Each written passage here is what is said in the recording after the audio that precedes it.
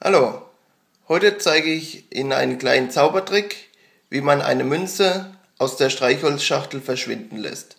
Dazu benötigen Sie eine ganz normale Streichholzschachtel, eine Münze. Die Münze geben Sie hinein, diesen, so.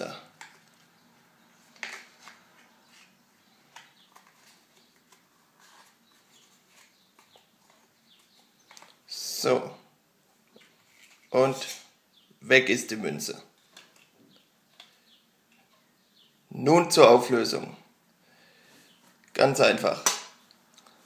Bevor Sie den Trick machen, bearbeiten Sie die Hälfte der oberen Streichholzschachtel, der wo die Streichhölzer liegen, der Mantel. Einfach mit dem Finger rein, kurz bisschen nach oben gedrückt. So, dann ist das nicht ganz einfach. Wenn Sie nämlich die Schachtel drehen, können Sie einfach kurz bei den Außen draufdrücken, dann öffnet sich unten und so können Sie dann ganz einfach die Münze in Ihre Hand gleiten lassen und verschwinden lassen. Schwuppdiwupp. Ich hoffe, ich konnte Ihnen helfen und viel Spaß bei der nächsten Party mit dem Trick.